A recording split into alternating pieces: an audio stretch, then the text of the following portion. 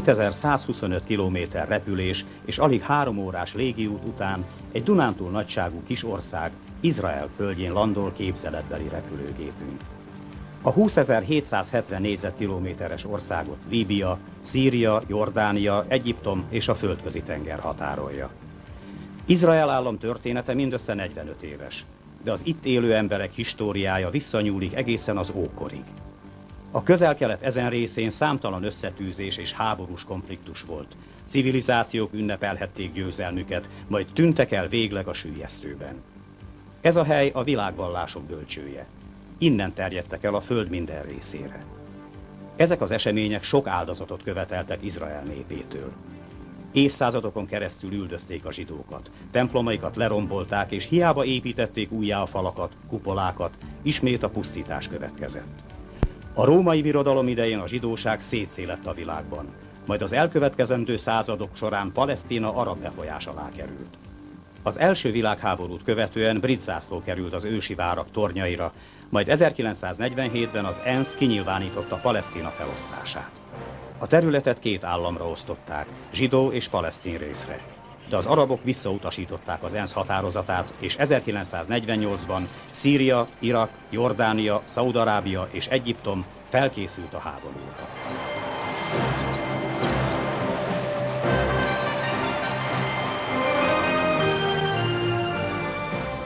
A körülzárt Palesztina várta, hogy az utolsó brit katona is elhagyja az országot. 1948. május 14-én Dávid Ben Gurion kinyilvánította az új Izrael állam függetlenségét. Ezzel a legtöbb zsidónak régi álma vált valóra, de az arabok számára csak egy célt jelenthetett, háborút.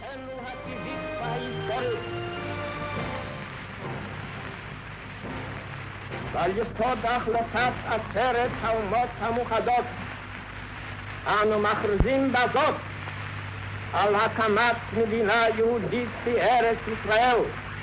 היא מדינת ישראל. A felhőtlen ünnepnapokat hamarosan a sokkal kegyetlenebb, keserűbb valóság, a háborús hétköznapok követték. A fiatal Izrael állam megkezdte első háborúját. Az arab országok terve a gyors győzelem volt, hogy még egy hatékony és erős hadsereg létrehozása előtt szétrombolják Izraelt. A legtöbb ország megtagadta a fegyverek eladását Izraelnek, miközben az egyiptomi dakoták és Spitfire-ek bombázták, lőtték Tel Avivot. Izraelt mindössze néhány légvédelmi üteg és könnyű polgári repülőgép védte. Minden lehetséges lépést meg kellett tenni, hogy repülőgéphez juthassanak. Így például egy képzeletbeli filmgyár amerikai repülőgépeket vásárolt filmjéhez, ami furcsa módon soha nem készült el. A pilótáik a második világháborúban a Royal Air Force századaiban repült zsidók és külföldi önkéntesek voltak.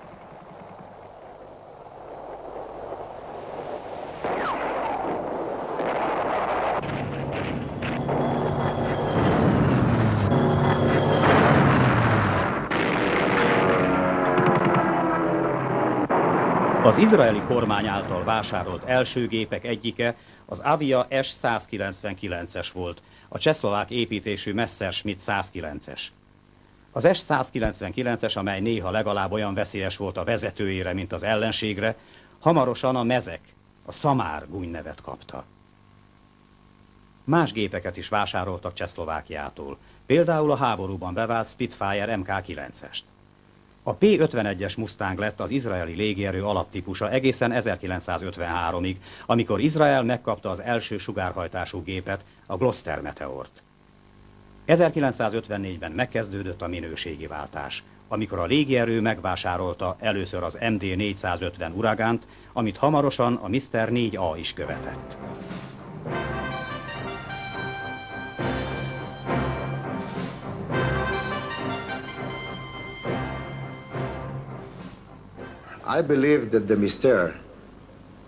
A francia korszaknak nevezett időszakban kapták meg pilótáink az első igazán nagy teljesítményű harci gépet, a Mr. 4 a típus több célra is kiválóan alkalmas volt, hasonlóan a következő időszak amerikai vadászaihoz, a Phantomhoz és az F család tagjaihoz.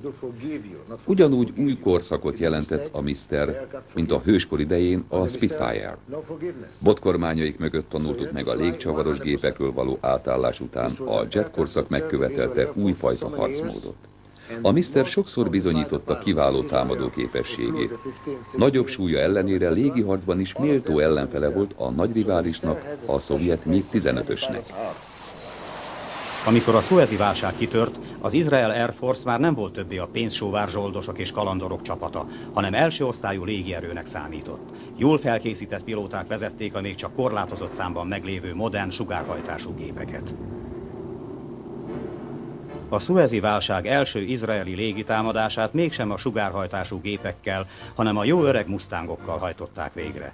1956. október 29-én négy darab P-51-es repült be nagyon alacsonyan Egyiptom területére, és légcsavarjaikkal elvágták a telefonvonalakat. A sikeres akció megteremtette egy meglepetésszerű támadás lehetőségét. C-47-es dakoták uragánok és miszterek kíséretében ejtőernyősöket dobtak le Egyiptom területére, akik megnyitották az utat a szárazföldi csapatok számára.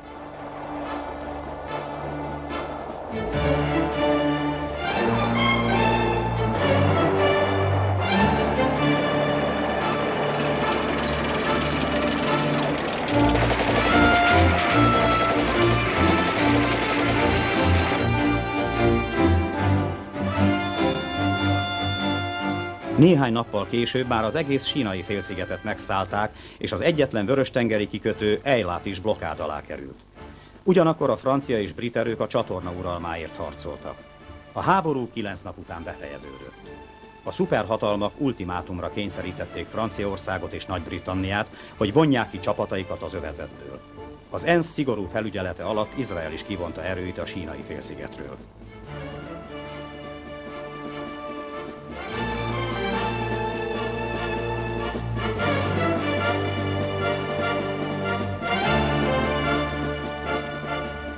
A háború után fegyverkezési verseny kezdődött a közel-keleten.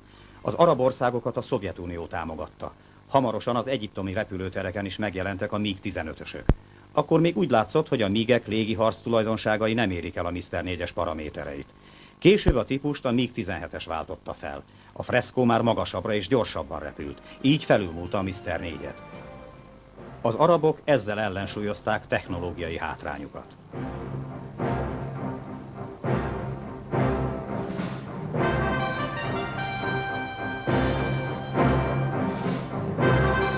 Az a gép, mely végleg felborította az egyensúlyt, a MiG-21-es Fishbed volt. Ezt már kimondottan elfogó vadásznak tervezték, és generációjának legjobb repülőgépe volt. A sínai válságot követő tíz év alatt nyomon lehetett követni a légierő fokozatos áttérését az utolsó dugattyús motorú gépekről a sugárhajtásúakra, amelyek az uragánok, a miszterek és a szupermiszterek voltak, majd a Mister 4 szuperszónikus verziójáig folytatódott a fejlesztés.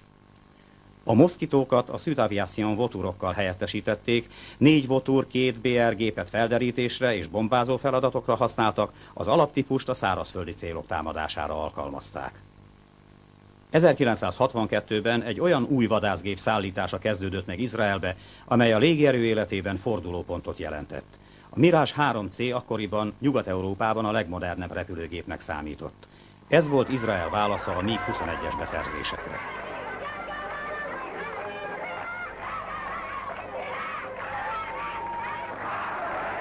1966-67-ben a feszültség ismét nőtt a közel-keleten. Az arab országok anticionista kampányba kezdtek. Megpróbálták Izraelt provokálni és rávenni az ottani sajtót, hogy hirdessen szent háborút. A zsidókat vissza akarták szorítani a tengerbe. Szíria és Egyiptom készültségbe helyezte csapatait a határok mellett, és Nasser elnök elűzte az ENSZ megfigyelőket a sínai félszigetről. Az arabok készen álltak a támadásra.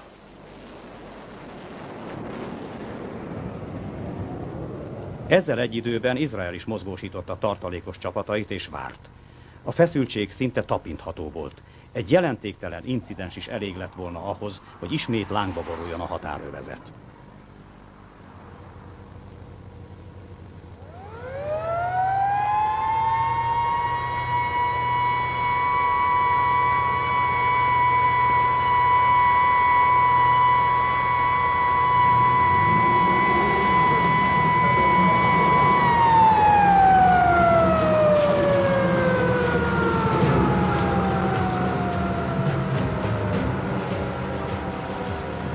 1967. június 5-én reggel 7 óra 45 perckor 180 teljesen felfegyverzett izraeli gép szállt fel, hogy meglepetésszerű támadást hajtson végre az egyiptomi légitámaszpontok ellen. Az izraeli kormány tudomásul vette, hogy egy sokkal erősebb ellenség támadása esetén a túlélés esélye nulla. Ezért úgy döntött, hogy a legjobb védekezés a támadás.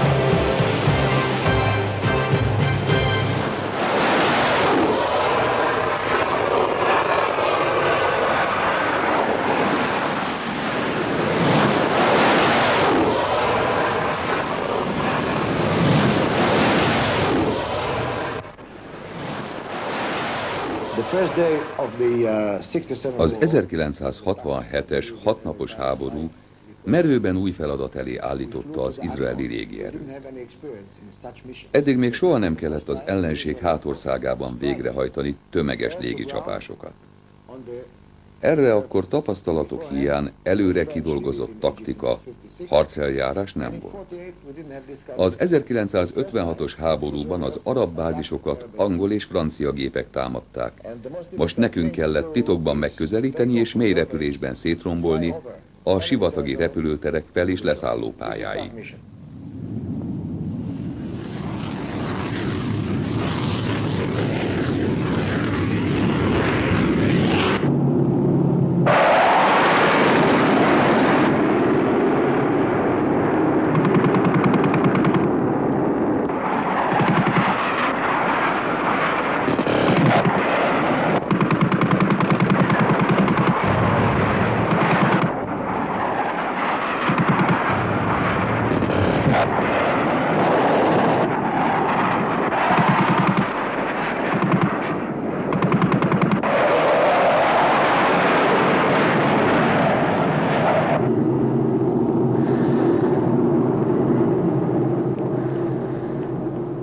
Az akció teljes sikerrel járt.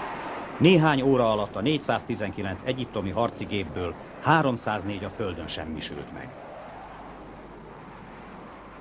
A kiszolgáló személyzet aktív részvétele is hozzájárult a sikerhez.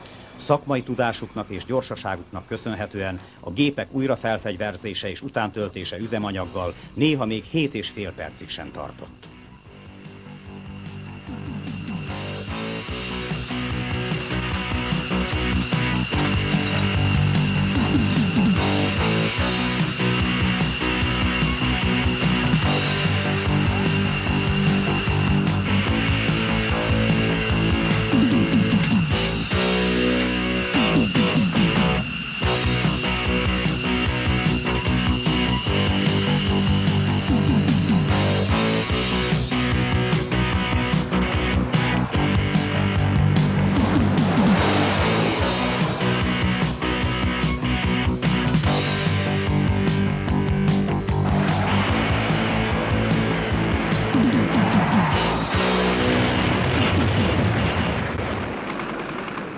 A légi támaszpontokat egymás után rombolták le.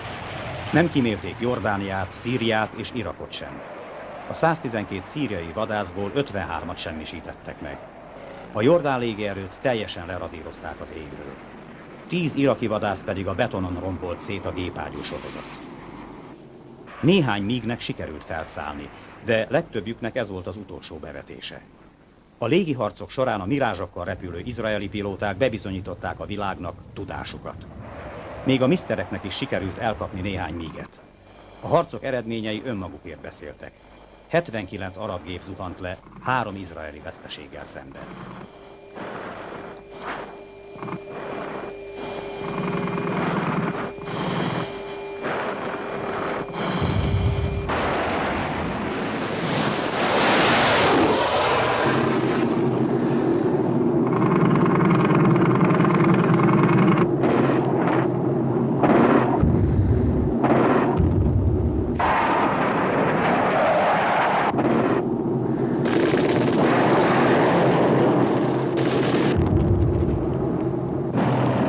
Ez megsemmisítő győzelem volt. A térségben az Israel Air Force uralta az eget.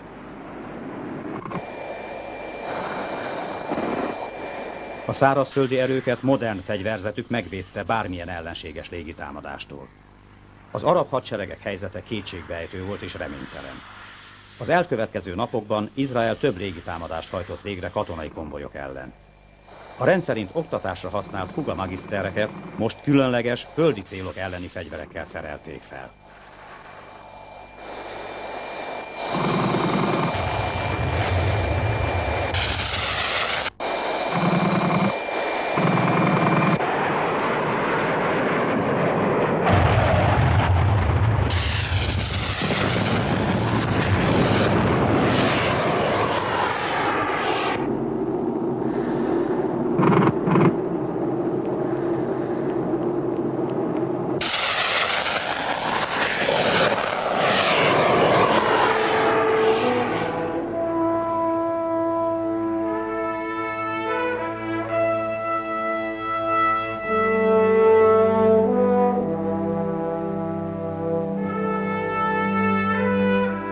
Magiszterek az uragánok kíséretében egy hat történeti jelentőségű légitámadást hajtottak végre a Mitlahágó felé haladó katonai konvojok ellen.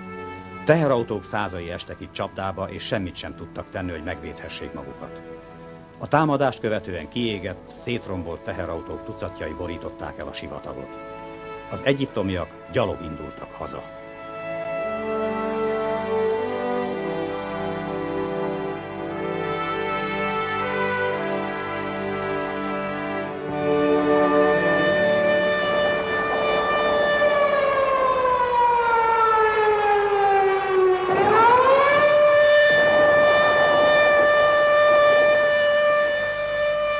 Jeruzsálem külvárosáért vívott harcokban a jordánok nagy erőket vetettek be.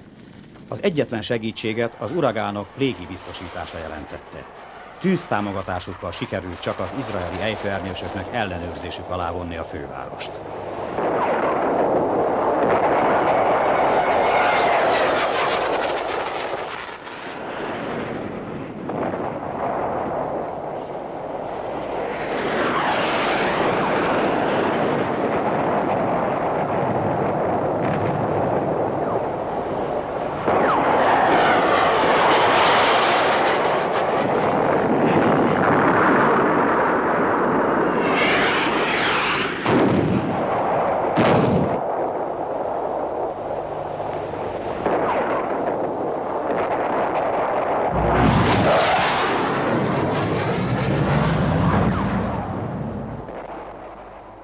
Amikor június 10-én végleg aláírták a fegyverszünetet, teljesen nyilvánvaló volt, hogy Izrael az igazi győztes, és a dicsőség főleg a légierőt illeti meg.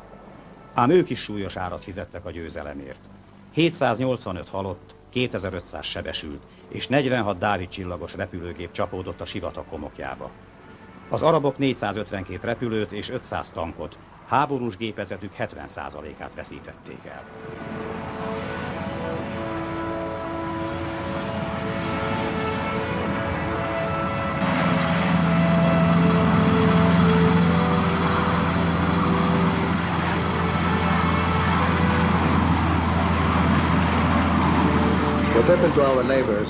A 67-es háborút követően a szovjet rakéták tömeges megjelenése és alkalmazása miatt egy új típusú veszéllyel kellett szembenéznünk. Azelőtt a légierővel csak a légierő harcolt. Az egyiptomiak és a szovjet tanácsadók nem csak a városok és objektumok körül, de a Suezi csatorna partján is telepítettek indítóállásokat. A hatnapos háborút követően Dögol tábornok parancsára beszüntették a fegyverek szállítását Izraelbe. A légierő ezt követően kezdett tárgyalásokat az USA-val, és 1968-ban megérkeztek az első A4H Skyhawkok. Az elkövetkező években más típusú Skyhawkokat is hadrendbe állítottak. Néhány gépet az elektronikai hadviselés eszközeivel szereltek fel.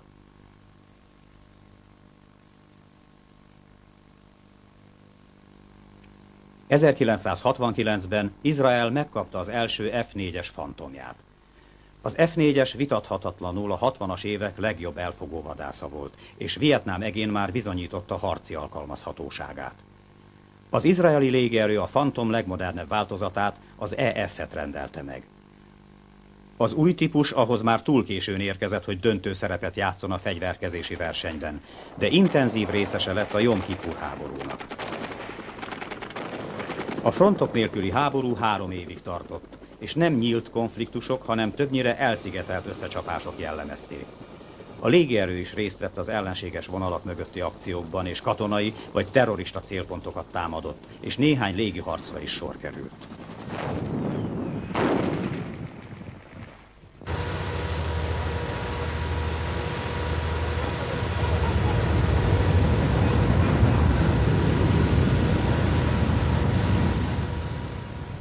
A szovjet beavatkozások egyre nyilvánvalóbbakká váltak. Látszólag a szovjetek csak kiképezték az egyiptomiakat a légvédelmi rakéták kezelésére, de orosz pilótákat és vadászgépeket is észleltek Egyiptom légterében. 1970. július 30-án légiharc alakult ki izraeli mirázsok és fantomok, illetve szovjet mígek között. A légicsata során öt míget lőttek le, míg az izraeliek egyetlen gépet sem veszítettek. Végül augusztus 7-én ismét tűzszünetet kötöttek.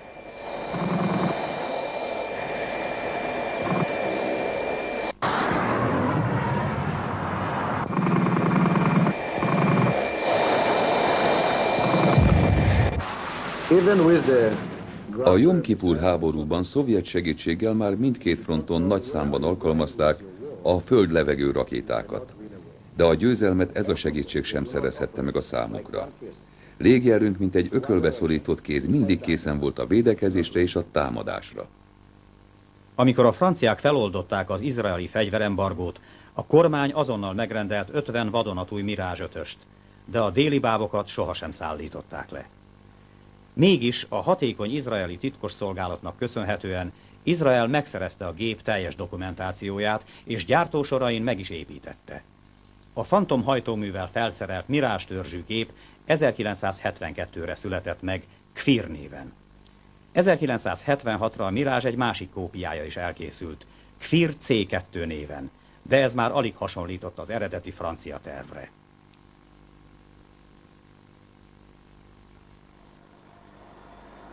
Az engesztelés napi háború volt az első alkalom, amikor a harcok már az elektronikus hadviselésre is kiterjedtek.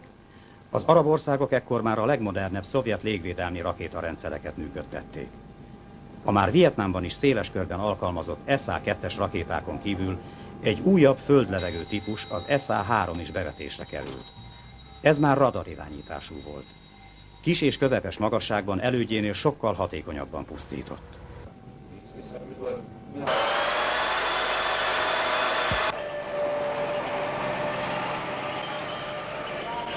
Az első időkben mozgó indító állványról alkalmazták a radar irányítású rakétákat. Így sokkal nehezebb volt megtalálni és megsemmisíteni, mint az SA-2-eseket, amelyek telepített kilőállásainak helyét már jól ismerték. Rövidebb hatótávolságuk ellenére is ezek a rakéták okozták a legnagyobb veszteséget az izraeli légierőnek. A háború az arabok meglepetésszerű támadásával indult, az engesztelés napján, az egyik legszentebb zsidó ünnepen. Az izraeli légvédelem szinte teljesen tehetetlennek bizonyult. A föld-levegő rakéták halálos pontossággal lőttek le minden hatótávolságukba berepült gépet, miközben az egyiptomi szárazföldi erők az ország belseje felé haladtak. A meglepetés traumája után a kékcsillagos gépek óráról órára egyre jobban visszanyerték uralmukat az égen. Új taktikát alkalmaztak, hogy elmenekülhessenek a rakéták elől. Új módszerrel kerülték ki a halálos égi nyilvesszőket.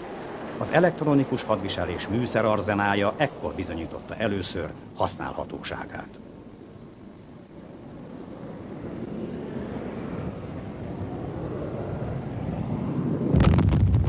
A légi irányítás és a repülőgépek között összehangolt tűzcsapások sok indítóállomás megsemmisítését eredményezték.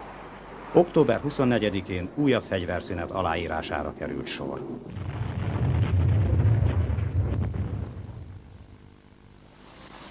...1976. július 3-ának éjszakáján az izraeli légierő hozzáfogott eddigi legmerészebb akciójának végrehajtásához.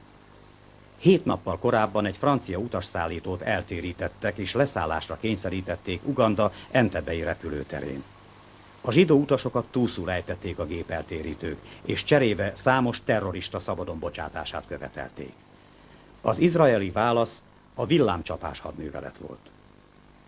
Titokban két C-130-as Herkules szállt fel. Az egyik fedélzetén speciálisan kiképzett kommandósok készültek bevetésre. A Herkulesek Entebébe repültek, és mire az ugandaiak ráeszmélhettek volna, hogy valójában mi is történik a repülőtéren, a túszok már ismét szabadon és biztonságban repültek Izrael felé. 1981-ben az Izrael Air Force végrehajtott egy nagy távolságú átrepülés utáni légicsapást. Az izraeli gépek három ellenséges országon repültek keresztül, hogy megakadályozzák a Bagdad melletti Osziraki nukleáris erőmű építésének befejezését, ahol az iraki atombombához szükséges plutóniumot állították volna elő. Az F-16-os solymokat F-15-ös sasok támogatták. Az F-15-ösök már 1977 óta hadrendben álltak, bár az izraeliek sokáig tétováztak, hogy megvásárolják ezt a drága típust – de a sasok már egy évvel később a libanoni háborúban bebizonyították, hogy nem volt felesleges a rájuk költött pénz. 1981. június 7-én 8 darab F-16-os szállt fel bázisáról két tonna bombával szárnyai alatt. Idegtépő küldetésük során 970 kilométert repültek, kis magasságban, ellenséges területek felett, az Osziraki erőmű felé.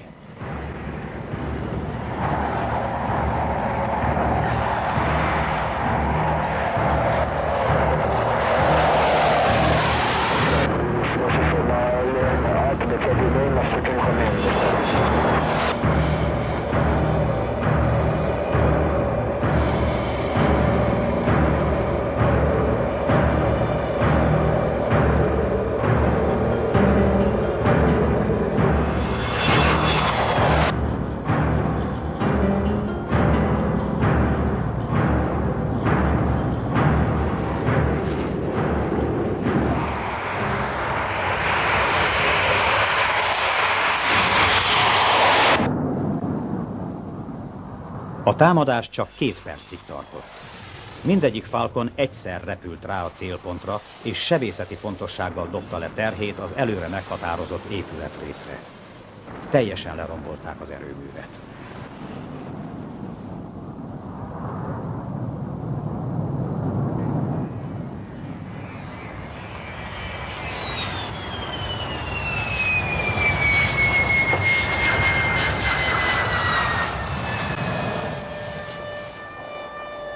A 70-es évek elején a PFS megalapította libanoni központját. Az észak-izraeli falvakat sorozatvetőkkel és 40 kilométeres hatótávolságú rakétákkal lőtték. 1982-ben megszaporodtak a támadások, és a falvak lakói olykor több időt töltöttek az óvóhelyeken, mint az otthonaikban.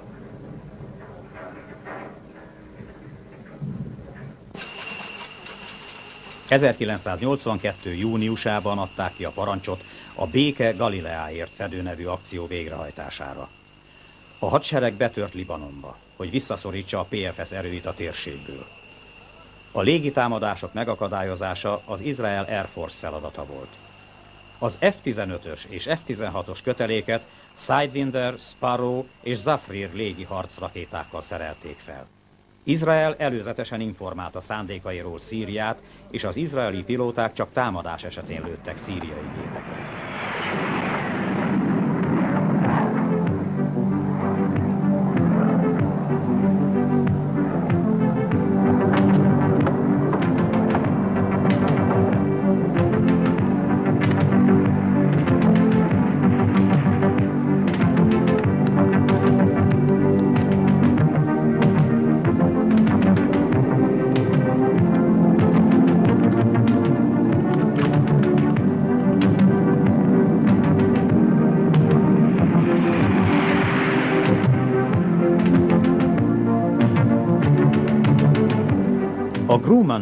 2C hókályok 1978 óta állnak szolgálatban, mint repülő megfigyelő állások.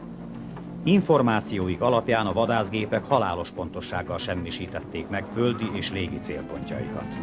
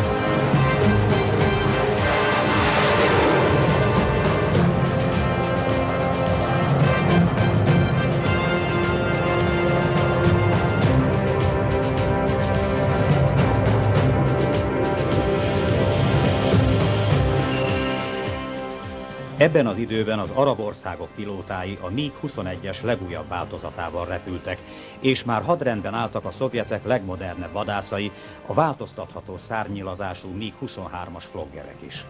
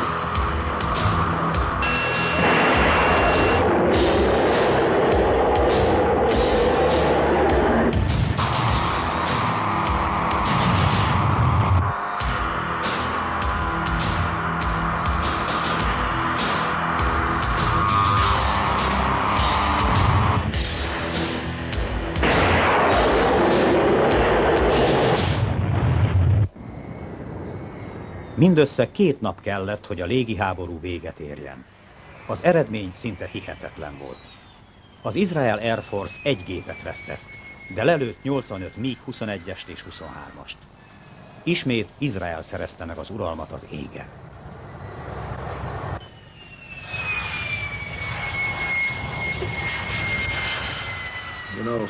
Az újságcikkek, könyvek, akciófilmek legtöbbször nagy kalandnak, Vidám és könnyű dolognak mutatják be a vadászgépek harcát. Ezzel szemben az összes háború, melyben részt vettem 1956-ban, 67-ben és 73-ban nagyon kemény élethalálharc volt, óriási emberi áldozatokkal és anyagi veszteségekkel.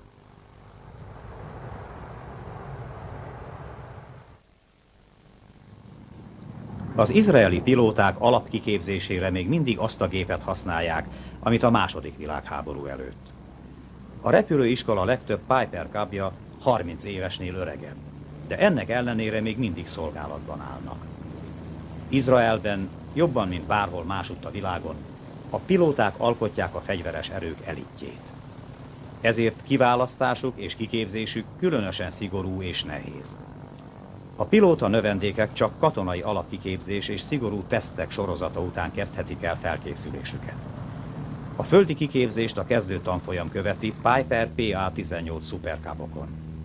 A létszám napról napra változik, mert csak a legjobbak kapnak lehetőséget a kiképzés folytatására.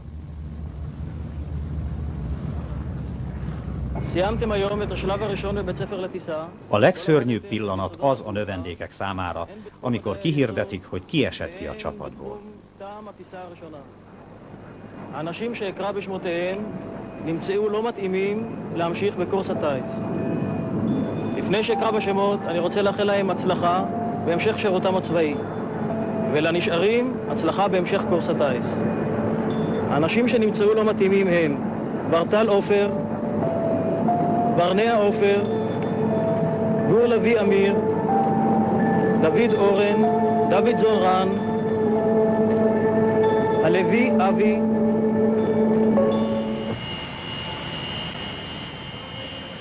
A Piper után a Fuga Magisterrel, becenevén a Cukittal folytatódik az oktatás. 1960 óta az izraeli repülőgép fejlesztő intézetben gyártják a magisztereket, licenc alapján.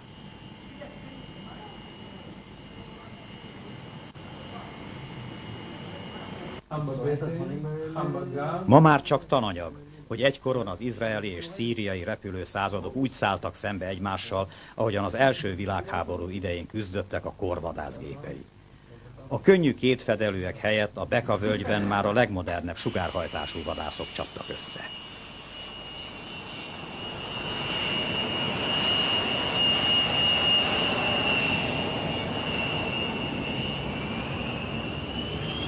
A cukit kis pilóta fülkéjében töltött számos repülő óra után jöhet csak el a fiatal pilóták számára a várva várt pillanat, az első egyedül repülés.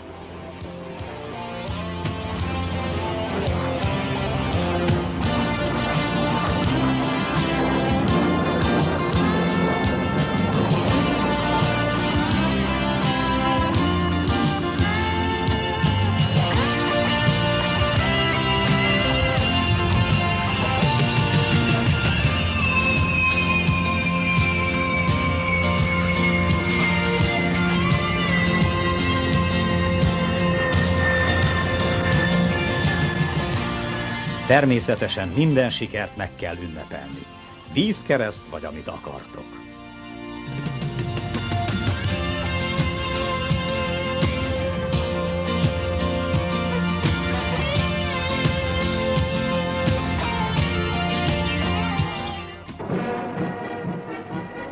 Mire a növendékek leteszik az utolsó vizsgát is, és megkapják a jelvényüket, az első Piperen repült óra már csak szép emlék.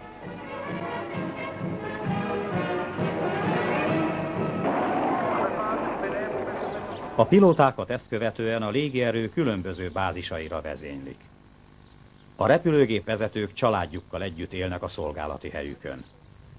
Noha Izrael kisország, számos olyan támaszpontja van, amilyenekkel csak az USA-ban lehet találkozni.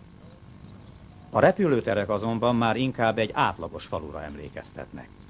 Üzletek, sportpályák, iskolák épültek a katonai bázis mellett.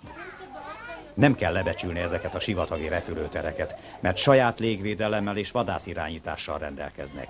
Így háborús körülmények között önállóan is képesek hatékonyan tevékenykedni.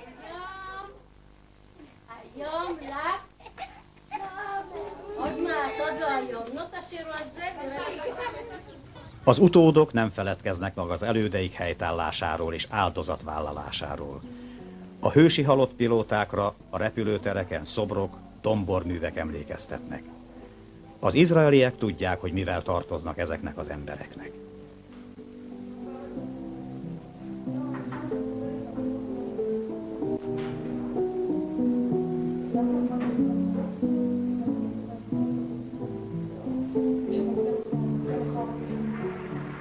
A veterán repülőgépek szintén őrzik a nagyszerű pilóták emlékét.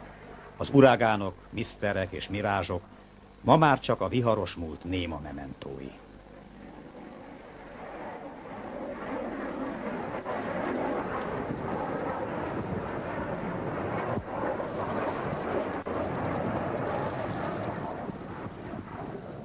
A szállítási feladatok ellátására még mindig a jó öreg C-47-eseket használják, bár néhány Dakota már az elektronikai hadviselésre átalakítva éli át második fiatalságát.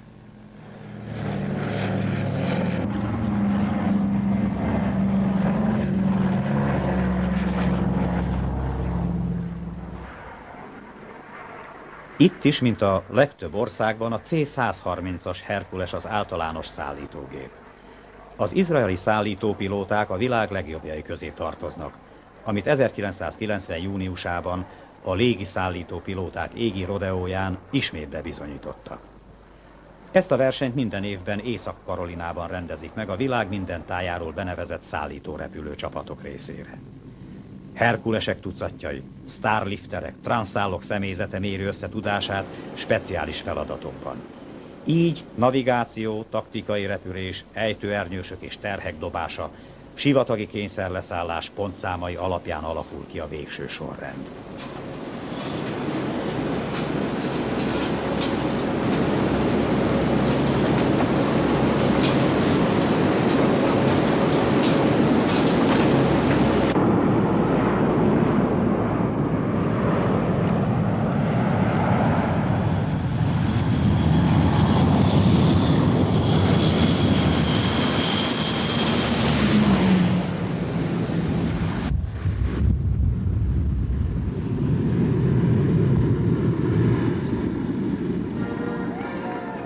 Az izraeli csapat kimagasló eredménnyel hajtotta végre a feladatokat, és kiérdemelte a legjobb külföldi tímnek járó trófeát.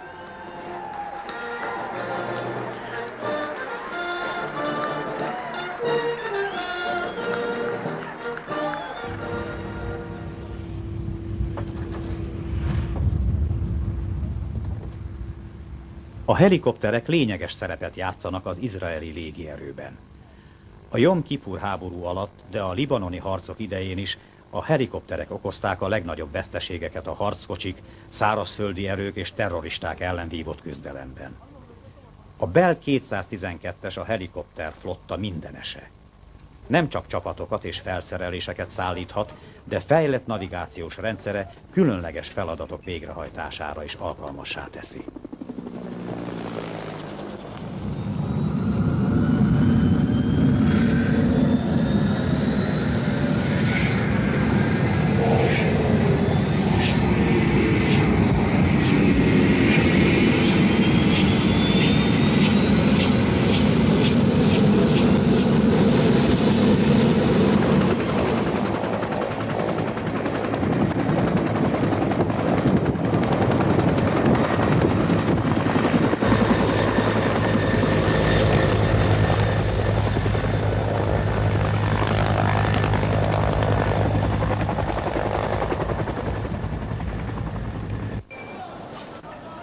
A helikopter a földi akciókat koordinálva légi megfigyelőként is működhet.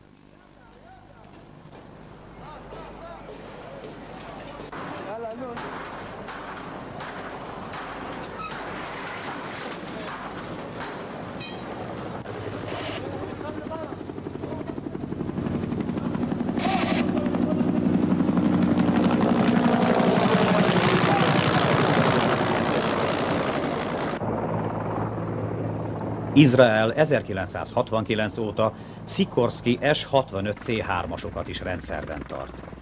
Ez a nehéz szállító helikopter kiválóan alkalmas nagy magasságban és forró éghajlaton végrehajtott bevetésekre. 1969. decemberében, amikor az izraeli kommandósok elfoglaltak egy szigorúan titkos szovjet radarállomást Egyiptomban, ilyen helikopter szállította a felderítők karácsonyi ajándékát Izraelbe.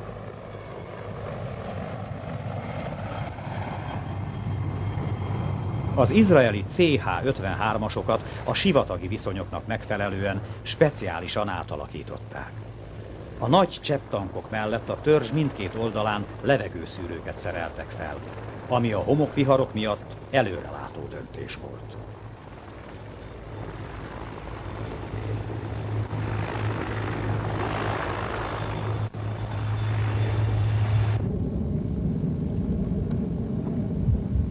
A csapatok támogatására és a harckocsik elleni harcra az AH-1 Huey kobrát alkalmazzák. A legtöbb kobrát már modernizálták. Új elektronikai rendszerekkel, páncéltörő rakétákkal szerelték fel. Megerősítették a pilótafülkét, és módosították a hajtómű gázkiáramlását is. A Hughes MD-500-as Defender együtt a Kobrával a libanoni háború legfélelmetesebb helikoptere volt.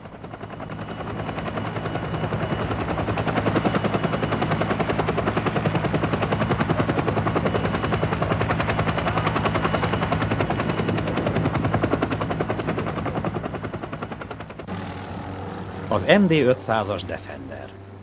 Kisebb és könnyebb, mint a Cobra. A szűk völgyekben és a hegyi harcokban főleg halk hajtóműve miatt alkalmazzák.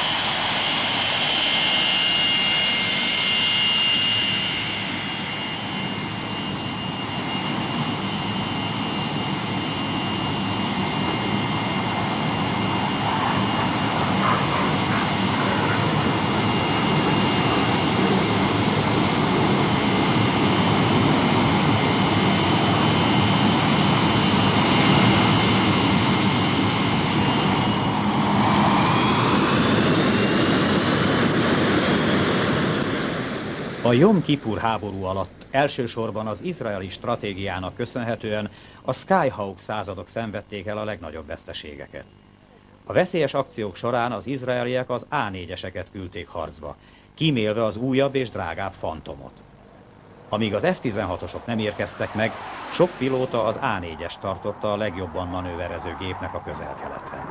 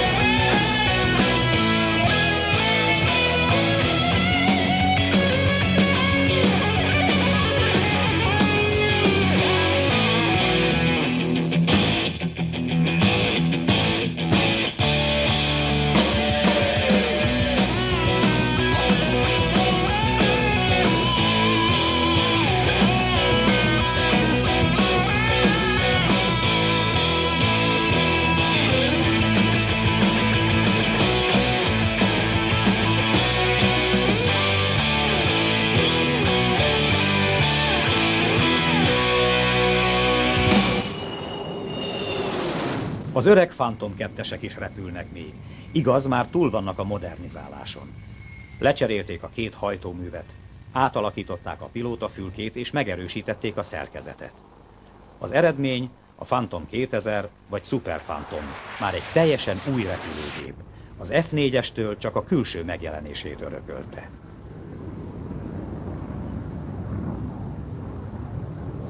Mint a legtöbb modern légiflotta, az izraeli légierő is képes gépeit a levegőben után tölteni, ezzel nagyobb hatótávolságot biztosítva számukra. Két különböző rendszert használnak. Az első a csöves, kosaras módszer, amely főleg a fantomok és a skyhawkok után töltésére alkalmas.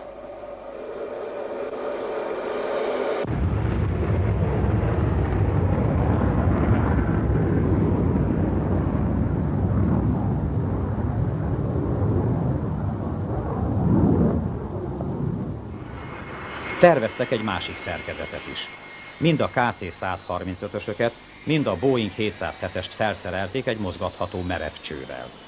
A kezelője a műveletet a tanker belsejéből egy videókamera segítségével irányítja.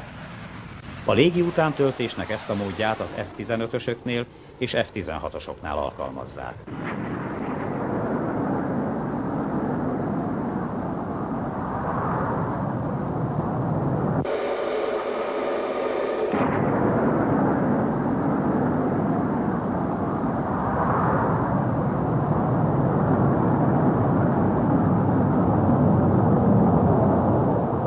Ezen túlmenően az A4-esnek is van egy utántöltésre alkalmas testvére.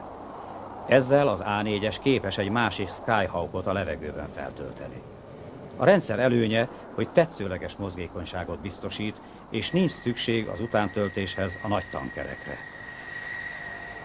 Az első F-16-osok, amelyek 1981-ben érkeztek Izraelbe, az A és B modellek voltak.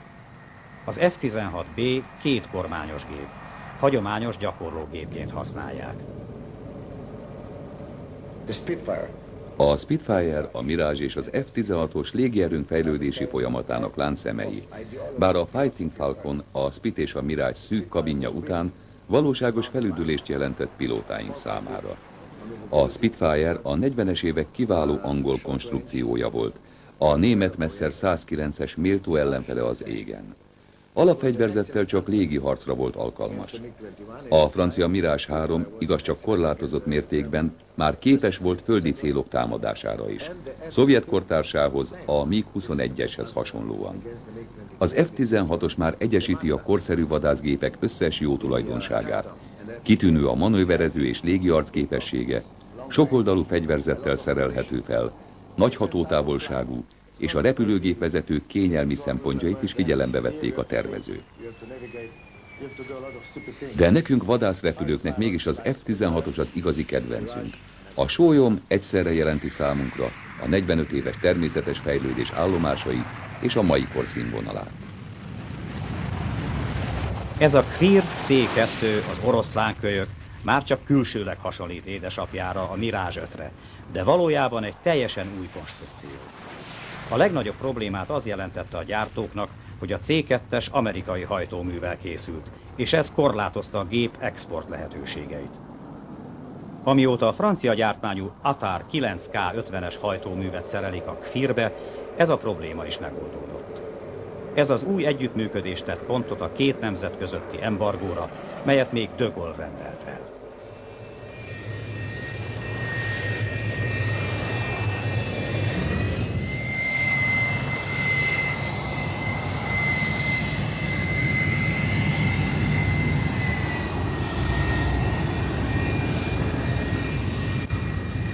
A felszíni légvédelmi rakéták szintén az Israel Air Force parancsnoksága alá tartoznak.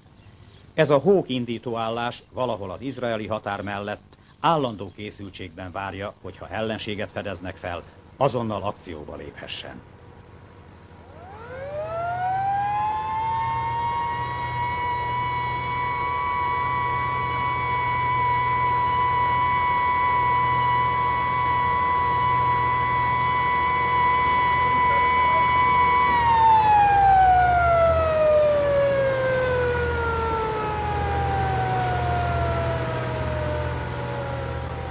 Szerencsére ez csak egy gyakorló riasztás volt.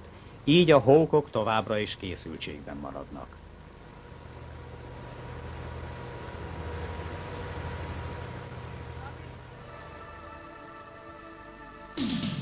A határokhoz közeli területek felügyeletére és felderítésére távirányítású repülőgépeket is használnak. A rádió irányítású repülőgépeket felszerelték videókamerával és egy adóval, így az adatokat folyamatosan küldi értékelésre az irányító központba. A felderítő feladatokon kívül az RPV arra is alkalmas, hogy segítségével koordinálják a földi akciókat. A repülőszem előnye, hogy olcsó, könnyű kezelni, és mindenkor valós képet ad a bevetési övezetről.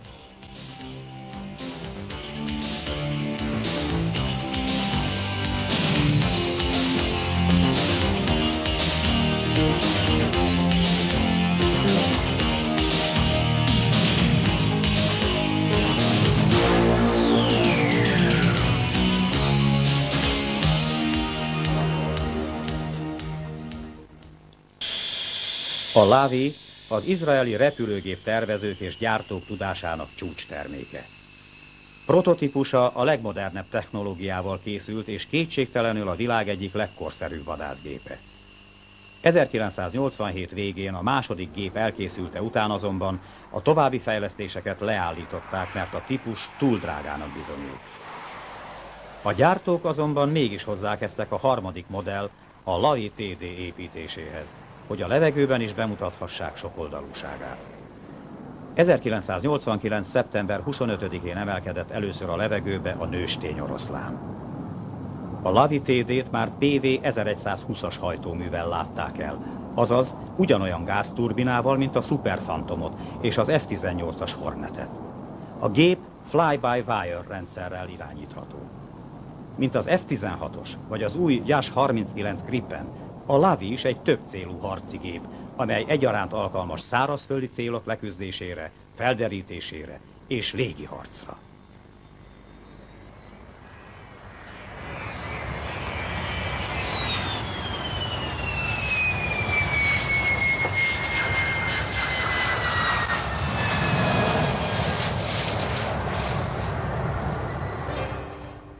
Lehet, hogy a lavival, lehet, hogy nélküle, de egy dolog biztos. Az izraeli légierő továbbra is őrzi és megvédi országa légterét.